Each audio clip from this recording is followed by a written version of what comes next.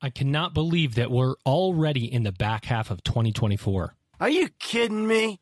But here we are. Before you know it, the calendar will be turning again. And that means we are already getting ready for 2025 conferences. And one that I'm personally very excited to attend again is the Insights EDU conference. If you care at all about growing enrollment and building a student centered higher ed experience, you really should be at this conference. Registration is now open, so secure your spot while early bird pricing is still available. Visit insightsedu.com for more information and to register. That's visit insightsedu.com for more information and to register. Hey, everybody, this is Elvin Freitas, co founder of the EdUp Experience, and today we are extremely excited to announce our paid subscription service. By subscribing today, you will get exclusive early access to ad free episodes, extended episodes, bonus episodes, original content. That's right, original content and invites to special events, all while helping to sustain EdUp. To become a subscriber, go to edupexperience.com. That's E D U P experience.com and subscribe to our free email newsletter to learn how you can get access. Again, go to edupexperience.com. That's E D U P experience.com. Welcome back, everybody. It's your time to Ed Up on the EdUp Experience podcast, where we make education your business. This is Dr. Joe Sallustio back with you again and again and again. No, it will never end if you ever thought it would end. You were wrong. It will continue forever. In fact, I say this a lot, but my uh, uh, compadre and co-founder of the EdUp Experience podcast, Elvin Freitas, this is uh, what month are we in? August. I'm taking um, podcast recordings for December now. For December, that means I'm booked out every single day to podcast with you from now until December. So we're booking uh, far in advance.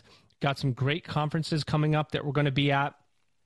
Um, for those that don't know, I've made a, tr- a recent transition uh, to uh, become the VP of Industry Engagement in Ellucian, and I'll be uh, keynoting our Latin America Higher Education User Conference in Cartagena, Colombia. So I can't tell you how excited I am to go to Colombia. Uh, and then we're going to be at the Middle States Conference, um, uh, Middle States Commission on Higher Education in Philadelphia in early December. Great connections. Uh, so come find us, uh, follow the content, if you will. Uh, we're going to continue to bring you amazing guests like my uh, guest that I have on with you today. In fact, technically this is his second time on the podcast the first time we started recording with him he was in an airport i think or a car and the audio was so bad it was just impossible and i said guest i'm going to make sure i get you back just like i promised right and here he is he's back with better internet connection today than he's had the last time uh, so we have a lot to catch up on he is the one and only Dr. Randy Frisch. He is the president at the City University of Seattle. Randy, welcome back to an EdUp microphone. Yep. How are you? Good, Joe. Thank you. I, I was at a funeral at the Naval Academy, um, oh. and that was the only thing that could have kept me from uh, uh, being a yeah, safer, safer location. Yeah way off. I, I, I remember that. Um, and, uh, you know, we, it's been, it's got to have been a year now almost since that happened. And that's probably because of me and my schedule, which is uh, crazy. Uh, but a lot to catch up on. In fact, I think when we were talking, you were the interim uh, president or chancellor for the National University System as they were going through the search. Obviously, they, uh, for those that don't know, then after that, I uh, interviewed Mark Milliron, Dr. Mark Milliron, who is now uh, the chancellor, I think, or the president of uh, National, and you're the president of City University of Seattle. So you've been moving around a little bit, haven't you? Yeah, Joe, uh, exactly right. Yeah. Um, Mark joined us a couple of years ago, and uh, uh, it's been a fantastic addition. So, and city city, uh, uh we are um, in Seattle, uh, as the name uh, portends. we've got about seven thousand students. about half of them are international students. we have some really um, beneficial um, three plus one programs in Mexico, China. Vietnam, uh, and some in uh, Europe as well. Uh, really, City University has some global reach. That's amazing. And um, uh, what I actually said this today, if you could believe it. I was talking to somebody here, Ellucian, who used to work in international recruitment for an institution that she came from. And most people don't know unless you're in the middle of it, how hard international recruitment is. And I'm not just talking about finding a student. I'm talking about SEVIS and F1s and J1s and OPTs and CPTs. I mean, it takes a lot of effort for an institution to invest in international recruitment and really reap the rewards of that, wouldn't you say? It is really hard. Uh, there are um, appropriate uh, controls and regulations on uh, international students studying in the United States uh, but they are complicated and uh, and they have uh, restrictions that sometimes uh, keep us from uh, being able to provide a a, a robust visit to City University of Seattle. Um, that's why we have developed more cooperative programs for international students. It's really expensive for students to come to the U.S. to study. So, what we've uh, worked hard to develop are partnerships with institutions that are in Mexico or Vietnam or China, where a student can study uh, three years in uh, in their home country and then come to Seattle for the last year to earn a bachelor's.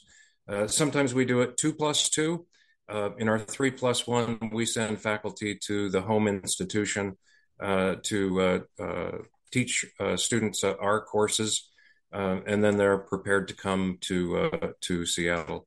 For our master's uh, level programs that we share, we do uh, quite a few one plus ones, uh, and that that controls the expenses. It also ensures that students, when they come to Seattle, they have a better experience. I like your style, dude. I, uh, th- this this is a, a really important part of the conversation as we t- uh, as we enter or not even enter we're already a part of one of the more complex times in higher education right now we see fafsa simplifications cause disruption we have um, regulatory confusion uh, particularly as we march toward an election where we are not sure which way that's going to go and and not to get political here because i'm not going to but each side has its own opinions on the higher education's place in the world and the regulations that should accompany that. Um, we see the value of a college degree become, you know, kind of coming into question. And it's those things you talked about the one plus ones, the two plus twos, the partnerships within higher education that I think when we talk about revenue diversification, which we know is important for any institution, partnerships are foundational to that. Can you talk a little bit about the partnership ecosystem you have at the City University of Seattle and why it's so important to your success? Yeah, uh, just starting with domestic, uh, uh, with U.S. partnerships. Uh, you know, City University was founded uh, in 1973, 51 years ago, to help uh, students complete their education journey. Um, there are 40 million uh, citizens of the United States who have some college but not a degree to show for it. In the state of Washington, it's about 900,000, some Yikes. estimates of a million, who have some college but not a degree to show for it. Uh, usually they've got debt too, so that's not a uh, a good scenario for uh, for either higher education or for the student. So um, we have partnerships working with community colleges, uh, regional community colleges.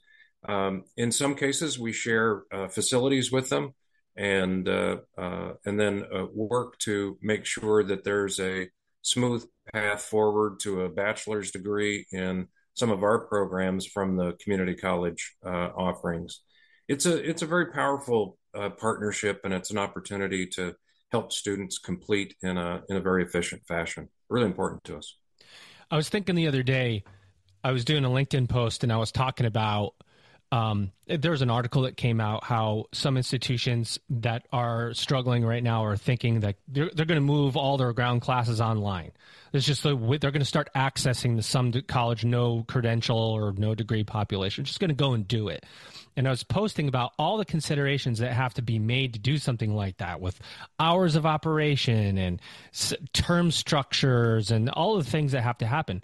And I'm glad to hear you bring up the some college no credential population because it's way more complicated than just getting people back into school. And one of the complications is debt. These people have attended college before. Many have left. They carry debt with them. Sometimes they're in financial aid default because they didn't pay back their loans. So there's a, um, I don't know, uh, technical bits that have to be overcome by universities to even serve this population. It's not like they're out there lining up at the door going, I want to come back, and institutions are failing to serve them. We're talking about working through individual situations with each individual in that 40 million because they all have complicated situations. It puts a lot of, of I don't know, pressure on institutional operations to access that market. How have you done? How, what have you done successfully to bring more of those modern learners, adult students into CityU? Yeah, it, uh, I think you described it uh, perfectly. It is uh, individual. Uh, every student, uh, potential student, prospective student has a little bit different institution or a, a situation, and and depending on the institution they're considering, uh, the matrix lines up differently for them. We've we've tried to invest more time uh, in uh, working with students uh, to figure out the most efficient way for them to complete. City University was a pioneer in prior learning. We find frequently that um, whether it's governmental or military or uh, just a, a regular industry trainings often uh, can uh, satisfy some of the learning objectives of courses. and that's what's made City U successful. Um, we also work uh, with employers to try and uh, make sure that their employees get to skill up. Um, we've got uh, creative programs with uh, Amazon and with Boeing where we work with uh, them to develop curriculum that uh, produces the kind of skills that they need to step into jobs, whether that's their current position or whether that's a position they'd like to move to. With Amazon, you know, they've got a bunch of warehouse employees sometimes who are really talented. Oh, well, they're all talented, but sometimes who want to move up.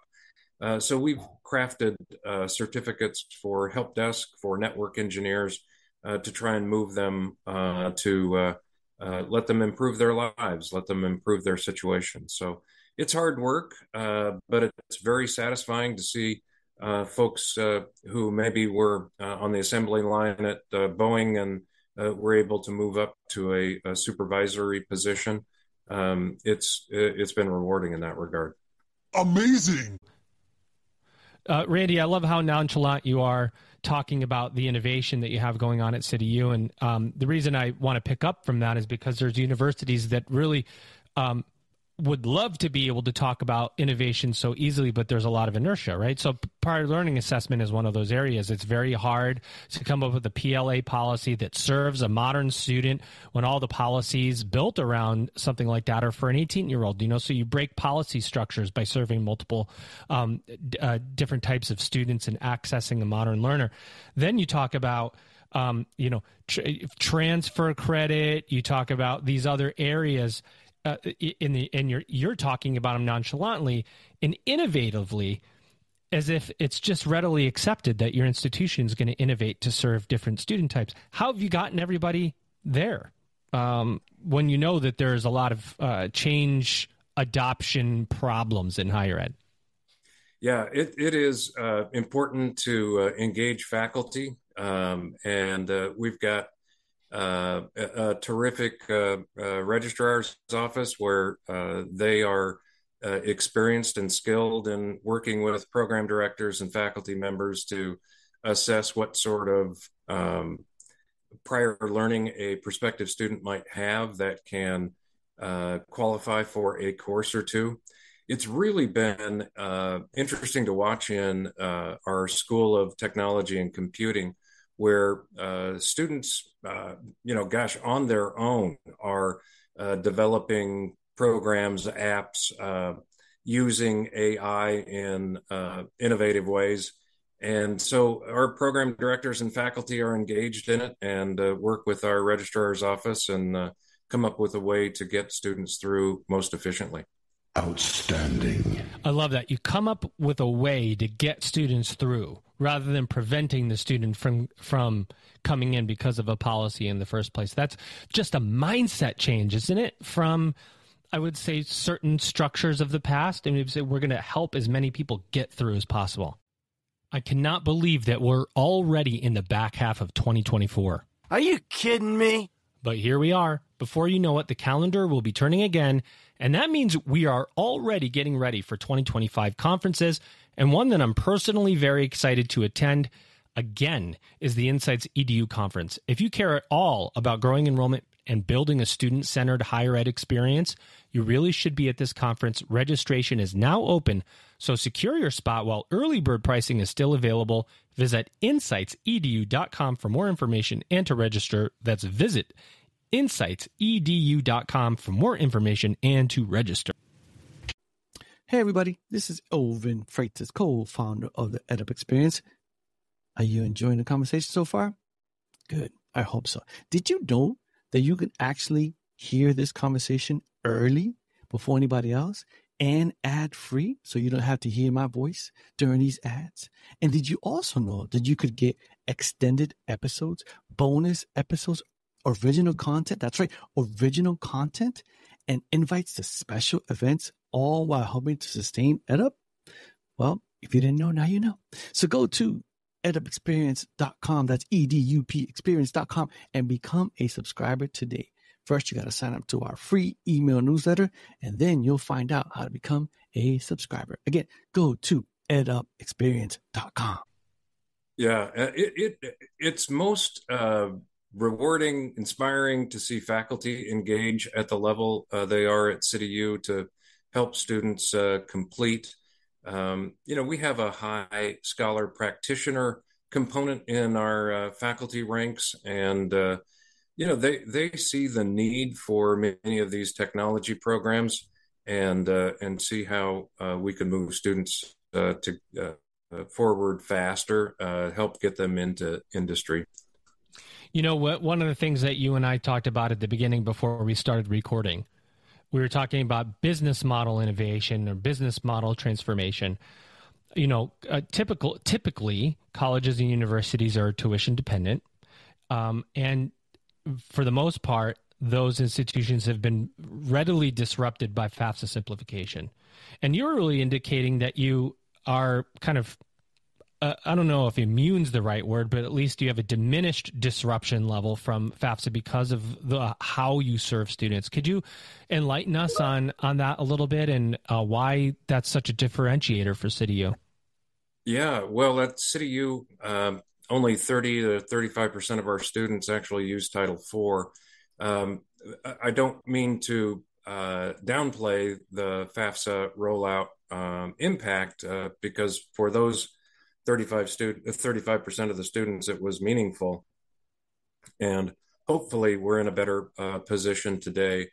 But uh, what we've uh, tried to do at CityU is work with um, uh, corporations businesses boeing uh, microsoft uh, amazon in seattle to access education benefits.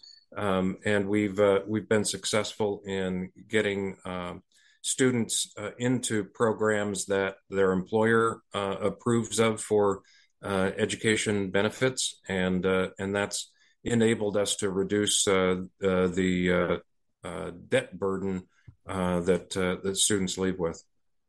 Yeah, it's so so good, um, and it takes a different also a different mindset and structure to do that. But I, will come. I want to come back to that later. Um, that'll be maybe an in-depth topic we'll go to for our, our subscribers. But I do want to talk about regulation a little bit.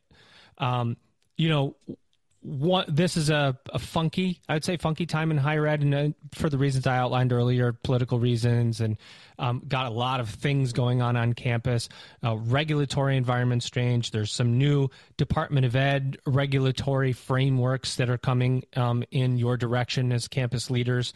Um, can you just give us a high level assessment of some of the the regulatory changes on your radar and perhaps what you think about some of those things. Yeah, I, I mean, I, I think the department, uh, the education department, is trying to uh, improve the student experience. We are trying to improve the student experience, and I think there needs to be more advocacy uh, on behalf of higher education uh, to try and uh, uh, partner with with Ed and with state regulators uh, and programmatic regulators. Um, we've we've had a, a sort of um, adversarial relationship instead of a collaborative relationship with regulators, and that hasn't served students well. Uh, it has really put a burden on smaller institutions. Um, you know, regular uh, listeners of uh, this podcast have heard other uh, smaller institutions presidents talk about the burden, the regulatory burden, and uh, you know, having um, uh, staff to cover uh, like the fair value transparency rule, um, programmatic uh, creditor uh, staffing rules, all the compliance rules that come from Ed and from the state. That adds staff. so when we uh, hear or read about how higher education has uh, administrative bloat, there's a reason for that. Uh, it isn't just uh, uh, because we like administrators. There are an incredible number of regulations that require really um, uh, detailed, time-consuming reporting, and and that's driving up the cost of education, which is not what the education department wants. It's not what regional accreditors want. It's not what programmatic accreditors want. You know, if you if you look at what the department uh, recently promulgated uh, in new rulemaking announcements uh, related to distance education, you know, it's it's understandable. Why why is the education department doing that? Well, there's a lot of dissatisfaction over student debt. You know, faculty are uh, uh, rightly concerned about their role in uh, the future of higher education. And then this um, uncertainty about the value of uh, higher education, it's all related to um, what we're trying to do individually rather than collaboratively. Um, you know, uh, having distance education rules that limit innovation, limit an opportunity for us to educate students who are uh, full time working or uh, who are uh, just trying to complete a degree after uh, getting a new position or military men and women. You know, a, a rule uh, that uh, limits our ability to offer asynchronous education, as the proposed rule does, doesn't help students. it hinders our ability to innovate and meet them where they are. And if we were collaborating on these uh, regulations, these rules, I think we would serve uh, students, employers, uh, the country far better. Tell them like it is. I agree. And the the asynchronous piece of that is the one for me that makes the least amount of sense, knowing that the complex lives of a modern student um, you know, managing families, work, sometimes multiple jobs. You have rising inflation, the cost of goods. So dollars are, and cents are tight. Um, and you take all these things and you go, one thing we're going to take away is flexibility. I mean, that's what the modern learner really needs. If you're going to educate a student beyond the quote unquote traditional student, flexibility is one of the foundational reasons why that person is even able to go back to school, right? I mean, so when you start to limit the flexibility, the, the flexibility of online education, it takes away that value proposition. And, and for many, it will take away the ability to attend, don't you think? I, I do, and I think it uh, also ultimately drives up the cost of education. You know, it, where the department seems to be headed is, uh, you know, distance education is going to be either correspondence uh, or it's going to be uh, distance education. And thinking about where, where the department um, uh, opined on Western governors uh, a few years ago, yep. uh, suggesting that uh, they were uh, correspondence. I, I, think what this rule is going to do is limit uh, an institution like Western Governors uh, and ability to innovate. I, I, do think we all want to ensure that students learn and that they get value out of education. And there, there are innovations out there right now in asynchronous uh, online learning that can provide the same sort of uh, my friend Michelle Weise uh, describes it as that that spark to finish, that insight into why this is important that faculty usually provide. Uh, I think the education department is worried that that's not in uh, uh, asynchronous learning. Um, that isn't in um, uh, correspondence courses. And, you know, if that's the case, let us innovate and demonstrate that there is in asynchronous learning opportunities for faculty to provide that spark, opportunity for faculty to provide that insight and inspiration uh, for a concept or a learning objective.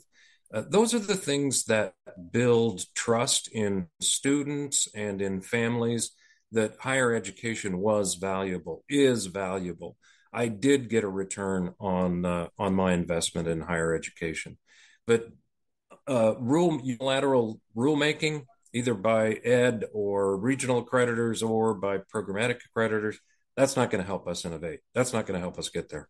100%. One of the big outstanding questions, I think, too, is how the Chevron uh, reversal is going to maybe depower Ed's ability to institute some of these um, uh, uh, regulatory items. You know, I think that's still fuzzy on on what, you know, lack of a better way to put it, power um, you know, uh, federal agencies are going to have for unil- unilateral rulemaking if it ends up going back state by state. Um, there's a lot of, uh, I think there's a lot of opinion out there on how things are going to unravel. But I, I do want to kind of come back to what you said, and I think it's an important point to make.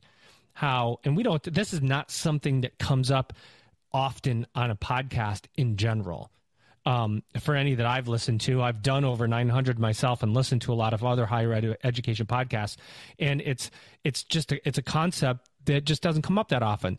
Regulatory. Um, inserting regulatory requirements on institutions forces you to staff up because small institutions, uh, you know, 7,000 students right now. I don't even think that's small, but still 7,000 I'd say mid-size and mid-size institution and smaller. You barely have those human resources to do the job that you're doing to ensure that you're con- you're controlling costs for the student. But then when you are forced to staff up just to meet regulatory requirements, it, it, it then forces the business to turn around the onus and put it on the consumer for you know you end up passing on the cost to the consumer which we're all trying to prevent. Yeah i, I was listening to your podcast with president of uh, andrews uh, college and uh, he, he, he was talking about having to staff up to meet uh, the fair value transparency uh, uh, regulation. And you know the concept of the fair value transparency of regulation uh, is something we all embrace. We want students Absolutely. to be able to get a great education. Um, I do think Chevron uh, is, in the end, going to be very helpful because it will, um, I, I hope, make all rules more collaborative than um, than dictatorial, and yeah. it uh, will give us the opportunity.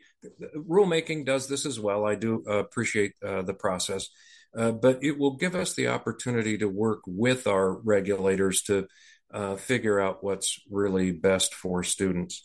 And um, you know, I had a meeting with uh, uh, one of the assistant secretaries of education, and you know, we left the meeting very dedicated to helping students. How we get there, um, I I think is going to depend on how well in higher education we advocate for our position. I think we need to do a better job of uh, engaging the department, the regional accreditors, and programmatic accreditors on the economic realities of uh, not only regulation, but of providing uh, students a, a, great experience, whether that's in an asynchronous or uh, uh, synchronous uh, or in person uh, or hybrid uh, model. Epic. Talk to uh, Randy as we kind of get toward the end of the of the episode here. I do want to hear you tell us about some of the things on your radar right now at CityU uh, as you look forward to the future. What do you have eyes on? Are you thinking competency based education? Are you messing with term schedules? Are you doing anything differently um, subscription based Title for three year bachelor degree, anything out there that you're going, you know, artificial intelligence? I'm just giving, I'm putting words in your mouth a little bit, but what's what's um, on your radar? Yeah, I think um, uh, I, I, guess you can't um, uh, over discuss uh, a topic, but artificial intelligence is certainly getting uh, its uh, fair share of uh, of the time artificial in discussion. Intelligence. Yeah, it's it, it is something that I think is going to move competency based education forward faster. I, I, think the ability to assess um, uh, uh, learning objectives and what you really know uh, is already out there uh, in uh, artificial intelligence. So I think competency based uh, may um, may develop on its own through artificial intelligence. I'll give you one one thing we're doing at City that I think is really exciting and fascinating.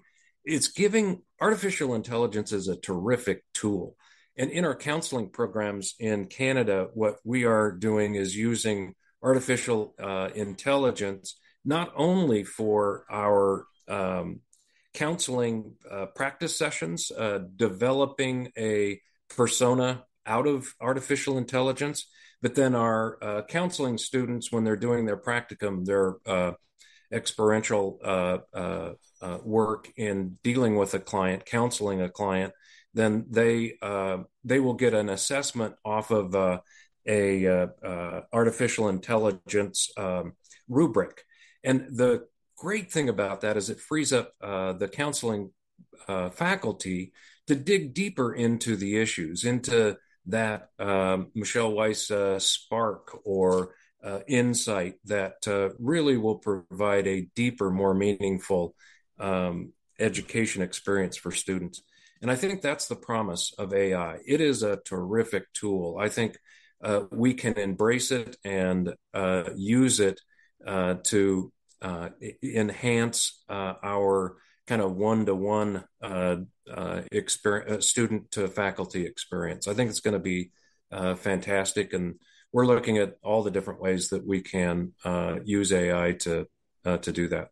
I like that. I think you make a great point individualized learning. It used to be personalized, but it's individualized now. How can AI really individualize my journey based on where I am as a student? I think that's the pro- the great big hairy problem that that AI will help us solve is how personalized learning becomes a reality. Um, and and I think you make a great point the of course the caution I always and you know this too for better than I do, but there are so many great programs out there with artificial intelligence. You want to grab them all up. Um, figure out how they, you know, should I should I have them embedded within my systems? Do I bolt them on? Um, how do I use them in my daily lives? Is something we all are finding our own journey with is how how to use these programs. Yeah, it it, it is. Um, I think a tool that uh, will uh, maybe the first in several decades a tool that will help us dig uh, deeper, develop deeper, more meaningful education relationships with students, and uh, I'm I'm very excited about it. Again, I think uh, the the key will be uh, to work collaboratively to advocate for how we're going to use artificial intelligence with with uh, the education department, with state regulators, uh, programmatic regulators so that they can find uh, the level of comfort with uh, with this new tool that that I think ultimately uh, will prove to be. Well, there you have it, everybody. An amazing episode um, with my guest today, and we're going to ask him to come back um, and do a quick uh, mini episode for our subscribers. Ladies and gentlemen, if you've been listening, this is a gentleman you want to follow doing great things out there in higher education. My guest today, no, he is your guest today. He's Dr. Randy Frisch. He is the president at the City University of Seattle. Randy, we hope we made this up to you after after all this time, finally getting you back. Joe, thank you. It's been great. Ladies and gentlemen, you've just ed upped. Higher education is evolving. And if you're in marketing and enrollment management, then you need to be at the Insights EDU conference. That's a fact. That's a fact. Insights EDU 2025 is happening February 12 through 14 In New Orleans, Louisiana, this is your chance to explore the latest trends in higher education and discover new and innovative strategies to level up your program marketing and enrollment. Hear from some of the best speakers in the industry, from companies like Google, LinkedIn, Adobe, and more.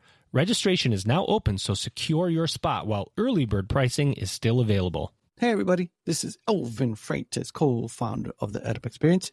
Did you enjoy that conversation?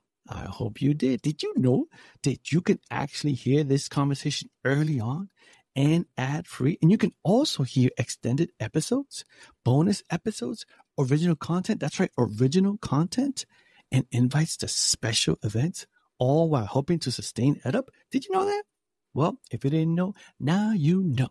To become a subscriber, go to edupexperience.com. That's E-D-U-P experience.com to subscribe to our free email newsletter to learn how you can get access. Again, that's edupexperience.com. That's E-D-U-P experience.com.